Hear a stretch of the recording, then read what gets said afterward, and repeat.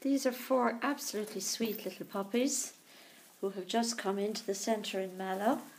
They're six weeks old and they look like Shih Tzu crosses and they're full of fun and fuzzy and little curly tails and uh, they will be up for rehoming. They've had their first vac so they'll be up for rehoming in two or three weeks time.